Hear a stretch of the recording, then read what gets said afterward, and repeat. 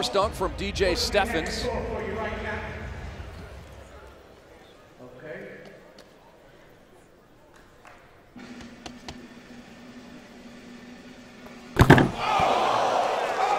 Through the legs for the jam, standing right under the basket. Tens across the board. Patterson, what's it going to be? Yes, it's a 50.